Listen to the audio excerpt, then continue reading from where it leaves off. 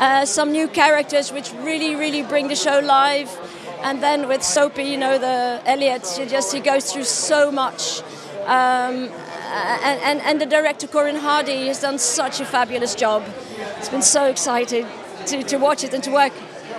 In terms of Corin, what do you think makes him such a unique, such a special storyteller?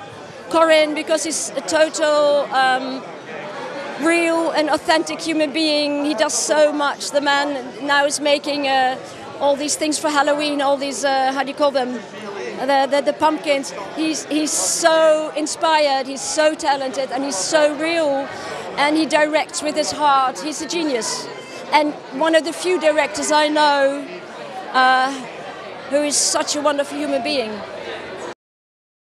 Given the violence and the fractious relationships between everyone, how does the on set experience compare? Well, I've been working and I'm not very well known yet for 52 years. So I started very, very early. Never in my life have I experienced such a wonderful on set uh, atmosphere. From all the assistants, all the assistants, everybody.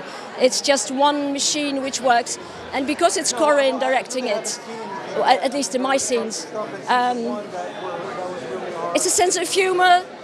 It's the, I don't know, it's just, you know, when you meet somebody and it clicks. With him, it just clicks.